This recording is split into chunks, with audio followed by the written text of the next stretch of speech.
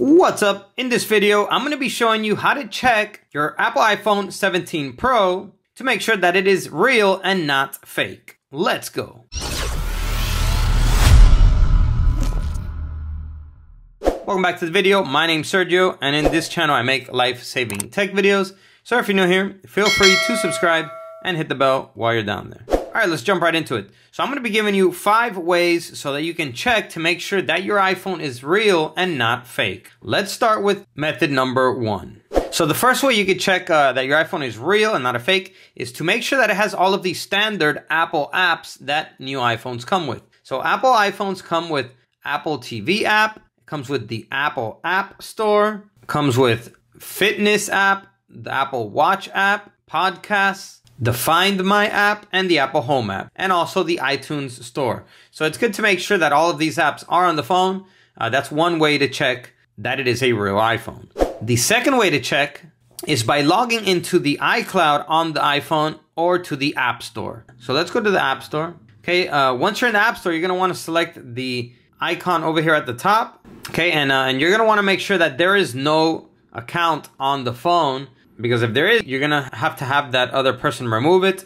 Uh, so you're gonna wanna make sure that you're able to log in with your Apple account. So sign in with Apple account, go ahead and enter your email and password and log in to the App Store to download apps. So the third method to check that your iPhone is real is with Siri. So all iPhones bring Siri. Um, the power lock button here is now the Siri button. So if you press and hold it, uh, Siri should come up automatically like this, unless if Siri is turned off, but uh, it comes standard with this button being the Siri button now. Okay, so moving on to the next way you could check, and the next way you could check it is by checking the IMEI of your iPhone. So you can enter the phone dial pad here and dial star pound zero six pound, and it's gonna give you some information on your phone. You're gonna have some IMEIs. We're gonna use the first IMEI. Okay, we're gonna go on this website here, which I'll have linked down below. Okay, so it's uh, this website right here. Um, this is where we're gonna enter that IMEI.